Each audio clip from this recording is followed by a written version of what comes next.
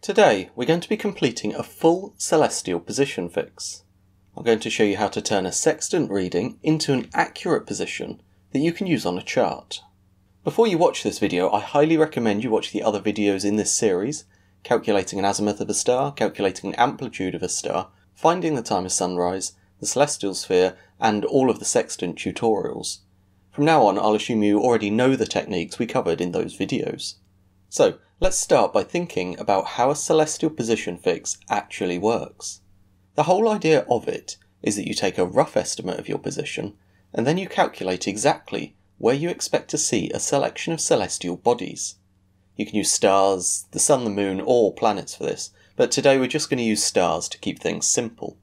After calculating the altitude you expect for your stars, you can then measure the actual altitudes using a sextant. Chances are your estimated position was not actually your correct position. This means the altitudes of the stars you measure will be different to the altitudes you calculated. You take those differences and you can use them to correct your estimated position. If you measure enough stars, you can sufficiently correct your estimated position to give you an accurate position fix. And really, that's all there is to it. Today I'm going to show you one technique, how to do it by manually calculating the altitude of different stars around a single estimated position. Another good way is to kind of fiddle a different estimated position for each star, so that the numbers become round, and this lets you read altitudes and azimuths directly out of rapid sight reduction tables. Anyway, on to today's technique.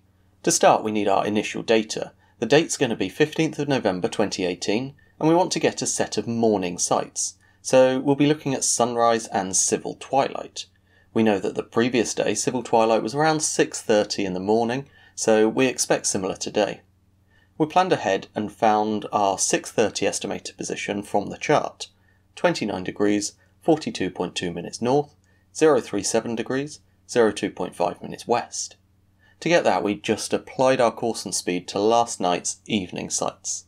Our course was 000 degrees true, and our speed was 12 knots. We need to start by getting an accurate time to take our sights, so we need to manually calculate the time of the morning civil twilight on the 15th of November 2018 in our position. We'll use the Nautical Almanac that's available from the nauticalalmanac.com, so pop over there and get a copy if you want to follow along. From the 15th of November page, we find that 30 degrees north, civil twilight is at 6 o'clock UTC in Greenwich, and at 20 degrees north, civil twilight is at 5:46 UTC in Greenwich. At our latitude of 29 degrees 42.2 minutes north, we can interpolate to find that civil twilight is at 6 o'clock UTC on the Greenwich meridian. To turn that into civil twilight at our longitude, we need to work out longitude in time by dividing our longitude of 37, 02.5 minutes, by 15, and that gives us a 2 hour 28 minute time difference. Of course, things in the west happen later, so we need to add that to the 6 o'clock civil twilight time to get civil twilight at our position at 8.28 UTC. If we wanted that in ship's time, we would just modify it using our time zone which would give us 628 local time. I don't want it in local time until the very end though, as we're working in the almanac and leaving it in UTC is just, just easier. If that was too quick, check back to the video on calculating sunrise times to see it all in a bit more detail. The next step is to plan the sights that we want to take.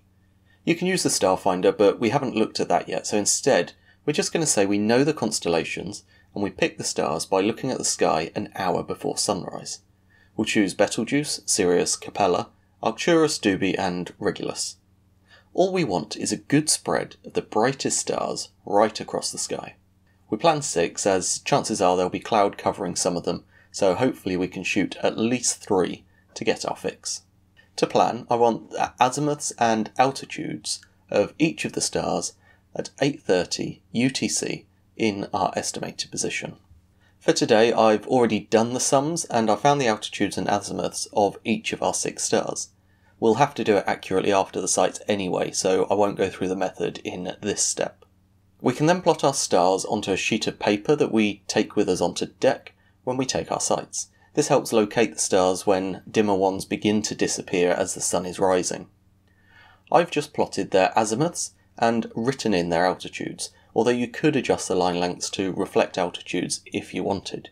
I also plot the ship's head as it gives me a reference point when I'm on deck, in this case 000 degrees true. Now you're ready to take the sights. For every sight you take, you need to log the precise time, and we're talking accuracy to the second here. Make sure you've adjusted your watch or the chronometer to give you enough accuracy. I tend to scribble straight onto my planning sheet just to keep all my notes together. You'll need to log the index error, every star's sextant altitude, and the precise time you shoot each sight. Make sure to check out the sextant tutorial series to see how to minimize errors, measure index error, and take accurate sights. In our example today, we managed to shoot Dubhe, Arcturus, and Regulus, but the others were obscured by cloud. That's fine though, I'm happy to work with just the three today. Now we're on to the calculations. Remember, we said that the principle was to compare our sextant measurements to our calculated measurements. This tells us we need to turn our sextant measurements into properly accurate measurements, and we'll need to calculate each star for the precise time that we shoot it. Let's start with the easy bit. We'll correct our sextant altitudes to be true altitudes. I'm going to construct a table as we've got a number of corrections to make. Firstly, we know that we need to apply the index error. Ours was 0.3 minutes off the arc, so we need to add 0.3 minutes to each measurement. Next, we need to correct for our height of eye. Let's keep it simple and say we were standing really low, just above the surface of the water. I can add on my height and I find the sextant was about 2 metres above the water. In an Admiralty almanac, these corrections are all in the same book, but in the almanac that we're using, they're in a separate document, but that's still available from the nauticalalmanac.com as well. Height of eye correction is dip, so we're just looking for the 2 metre row, and we get a correction of minus 2.5 minutes. Applying the dip and the index error to the sextant altitudes gives us the apparent altitude of each star. Then there's only a few more corrections we need to make now. The total correction comes straight from that same page as the height of eye correction. You enter the stars and planets table with the apparent altitude, and you just read the total correction from the correct row. Then finally, we need to correct for refraction, or more precisely, the additional refractive correction, this is impacted by temperature and atmospheric pressure. It affects stars close to the horizon more than ones at a higher altitude. This morning it was 12 degrees C and 975 millibars when we took our readings, so we're going to read down column J. Two of our stars were high, so they didn't have any additional refractive correction. Arcturus was a bit lower, so we need to read off his correction and we find it as plus 0.1 minutes. Finally, we can sum up all our columns to get the true altitude of each star, and we'll come back to these figures after finding our calculated altitudes. To get the calculated altitudes, we need that precise time of every sight that we logged when we took the sights. Again, I'm going to do this in a table to display the data a little easier. This is the exact same method we used in the video on calculating the altitude of a star, so check that out if we go too quick today. I want to pull the data from the 15th of November page in the almanac. For each star, I'm going to want its sidereal hour angle and its declination. Then we need to turn those sidereal hour angles into local hour angles using Aries at the time of the sights. For Aries, we'll get the same hourly Greenwich hour angle for each sight, as the hour for all of them was 8 o'clock UTC It's going to be the increments for Aries that are different for each one. We can read off the increment for 28 minutes 15 seconds as 7 degrees 4.9 minutes. Then we can do the same for the 30 minute 30 second increment and the 32 minute 15 second increment. Next, we just add the hourly Greenwich hour angle of Aries to the increment to get the actual Greenwich hour angle of Aries at the precise time of each sight. To turn that into a local hour angle, we need to apply our longitude, subtracting it because we're in the west. Finally, to get the local hour angle of the stars, we apply the sidereal hour angle of each star to the local hour angle of Aries at the precise time each star was shot. Starting to look a bit complex now, but it's quite simple provided you just follow through the steps logically. I'm going to remove the construction rows from my table now to only keep the rows that I'm interested in. Remember from the other video, to turn these into altitudes, we just need to plug the numbers through the formula. I want to keep it accurate enough to work with, so the angles are going to be to the nearest 0.1 minutes, and this should tie in with the accuracy possible with the sextant, and will correspond to 0.1 miles in the final result. Next, we want to find the actual azimuth of each star at the time of the sight. Again, this was covered in the previous video on finding an azimuth of a star, so check that out for the thorough method. I use the ABC method, A being tan of the latitude divided by tan of the local hour angle, with the sign being opposite to the latitude sign unless the local hour angle is between 90 and 270 degrees. B is tan of the declination divided by sine of the local hour angle, with the sign matching the sign of the declination. C can be either A minus B or B minus A, depending on which is largest, and is labelled the same as the sign of the largest of either A or B. Finally, the azimuth is the inverse tan of 1 divided by C divided by cos of the latitude, with the notation starting with the label of C and ending west if the local hour angle is less than 180 degrees, or east if the local hour angle is greater than 180 degrees. Resolving all that gives the azimuth in true notation. Again, this was really fast, so check out the video on azimuths if you want it slowing down. Finally, we can construct a table with only the information we now need. We take the star name, the time of the sight, the azimuth, the true altitude, and the calculated altitude. Remember, I've said all along it's about comparing what you expect to see to what you actually see. For plotting, we want the difference between the true altitude and the calculated altitude. You just subtract the calculated altitude from the true altitude. Positive numbers are labelled towards and negative numbers are labelled away. And now we're almost ready to plot. But let's first have a look at what happens if we try and plot straight like this. We'll start at the origin, our estimated position or DR position at 8.30 UTC. To plot a star, you draw the azimuth, and then you plot the intercept perpendicular to that azimuth. For Dubhe, the intercept was 0.4 miles towards. So we just move 0.4 miles towards Dubhe, and we plot the celestial line of position. This was at 8.32.15. We can do the same for Arcturus. The azimuth was 082 degrees, and the intercept 4.5 miles towards. Again, we label it with the time, which was 8.30 and 30 seconds. But this is where our issue comes in. The times of these lines are different.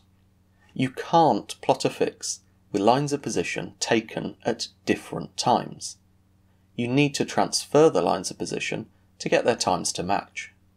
We already said we wanted a fix at 8.30 UTC, so that would be a good time to transfer all of our lines to. Just like you would with a running fix, you can apply your course and speed to the time difference you want to transfer. For example, in the case of Dubhe, we took the sight at 8, 32, and 15 seconds, so 2 minutes 15 seconds after 8.30. The distance that the ship travelled in that time was 0.45 miles, using the speed of 12 knots that we declared earlier. To turn the 8.32.15 position line from Dubhe into an 8.30 position fix line, I need to drag it back the way the ship has come, by 0.45 miles. In our case, we were travelling 000 degrees or due north, so I need to transfer this position fix line 0.45 miles south to turn it into an 830 transferred position fix line. If we do this with all of our celestial lines of position, we can get them all at the same time and actually produce a fix. I'm going to return to our table and add in the time difference between the fixed line and each actual sight time. I'm also going to add the distance that the ship travelled in that time, and that's just using speed equals distance over time. Now we can return to our diagram and plot each one in turn.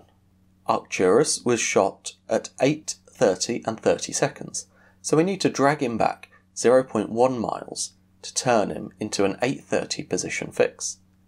The azimuth was 082 and the intercept was 4.5 miles towards, so that puts our transferred line of position just here. We already now have an indication of where the lines are crossing, but we need to continue to get enough accuracy for a reliable fix.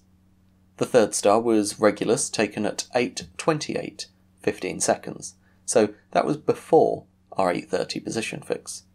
We need to move his origin ahead by 0.35 miles to turn him into an 8.30 fix. From his origin, we plot his azimuth of 156 degrees, and then we add his intercept of 3.9 miles towards.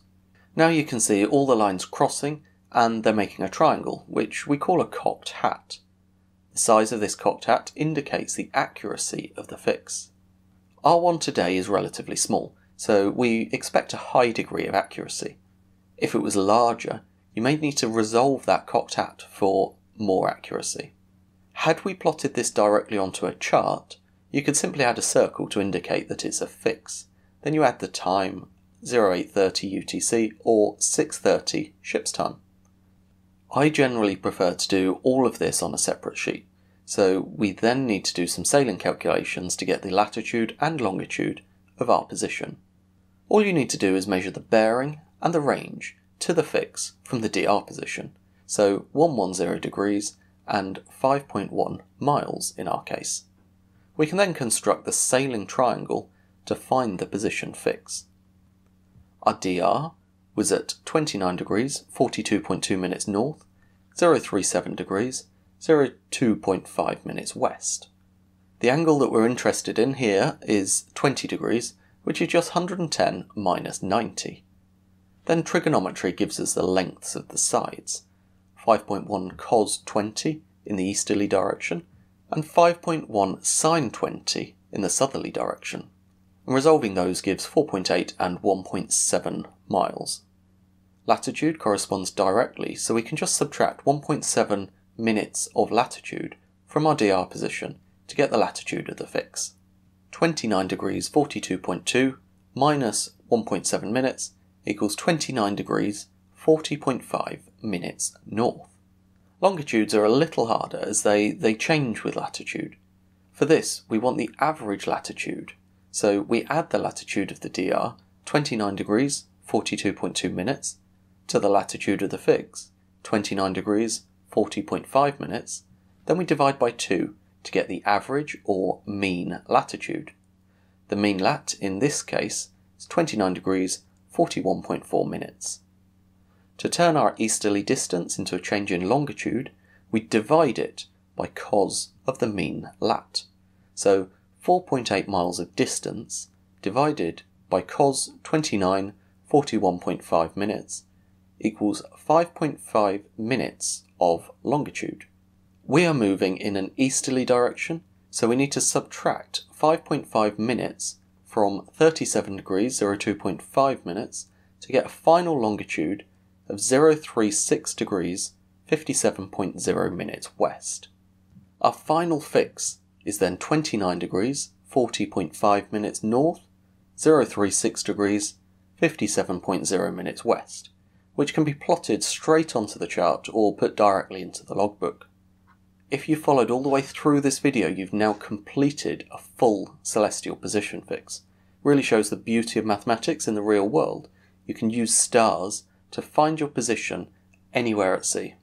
Do let me know in the comment section below if you've found this video useful, if there are any parts that could do with expansion in another video, or if you would just like to see further position fixes in different situations or using different methods. Otherwise, hopefully you've enjoyed the topic. Until next time, thank you for watching and goodbye.